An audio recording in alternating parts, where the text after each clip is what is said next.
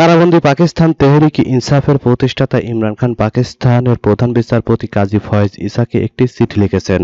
সাতটি বিষয়ে তার দৃষ্টি আকর্ষণ করেছেন এবং দ্রুত হস্তক্ষেপের জন্য স্পষ্টভাবে আহ্বান জানিয়েছেন।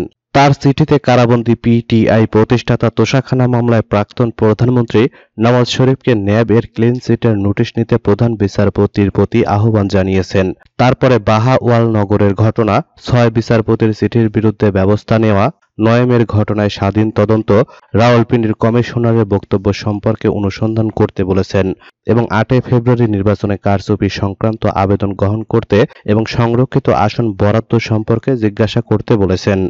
সাতটি ইস্যুতে সিজেপি ফয়েজ ইসার দৃষ্টি আকর্ষণ করার সময় ইমরান খান উল্লেখ করেছেন যে, এই গুরুতর উল্লেখিত প্রতিটি বিষয়ে নিষ্ক্রিয়তা সাংবিধানিক সংকটকে আরও বাড়িয়ে তুলবে।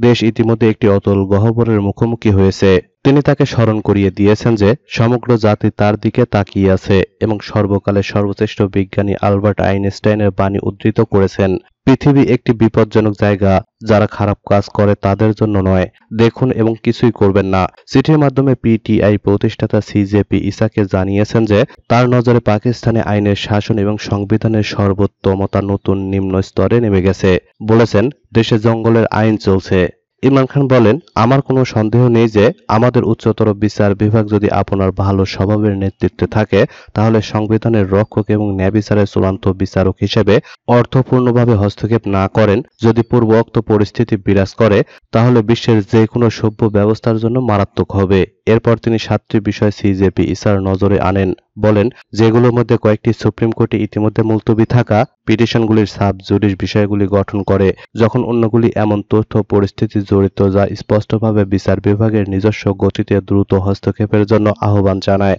তবে প্রতিটি ক্ষেত্রে এটি এখন পর্যন্ত নিষ্ফল হয়েছে। তদুপরি ইমরান খান পাকিস্তানের সংবিধান প্রণয়নের পঞ্চাশতম বার্ষিকী উপলক্ষে সংসদের যৌথ অধিবেশনে কথা বলার সময় সিজেপিকে সেই অনুষ্ঠানের কথা মনে করিয়ে দিয়েছিলেন এবং বলেছিলেন যে সংবিধানের একটি অনুলিপি সম্পূর্ণ জনসাধারণের দৃষ্টিতে হাতে ছিল। ঘোষণা করার আগে যে বইটি পবিত্র কুরআন এবং নবী করিম সাল্লাহ আলাইসাল্লামের সন্ন্যাহের পরে সিজেপির পথ প্রদর্শক যেহেতু আমি যাকে আমাদের জনগণের সংখ্যাগরিষ্ঠ বলে বিশ্বাস করি, তারা রাষ্ট্রের ক্রোধের মুখোমুখি। শেষে তিনি বলেন সংবিধানের সর্বোত্তমতের তার ঘোষণাটি বাস্তবের জন্য, নাকি নিছক ফাঁপা বাগাড়ম্বর তা প্রমাণ করার এখনই সময়?